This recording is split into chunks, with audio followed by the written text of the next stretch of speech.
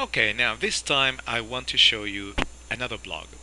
Uh, once again, I am in a Yahoo group, so I'm going to scroll down a little bit. This is the home page, and right here in uh, our session sites, we're going to find the activity blog. I clicked there, and this is another blog we have created for our session.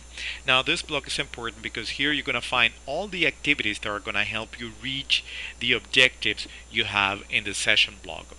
So um, this is the home page and here you're gonna find some information related to uh, this blog. Please read this information.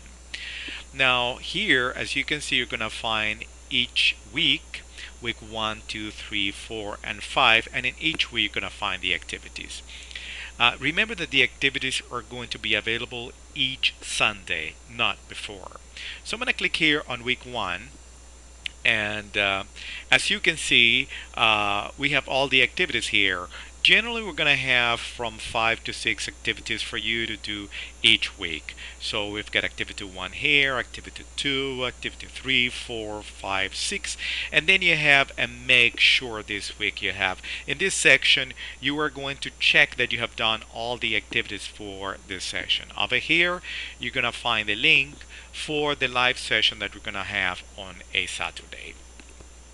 Now, once again, remember that activities are going to be available on Sunday. For this tutorial, I made this page available, but this uh, page is going to be available on January 13th, not before.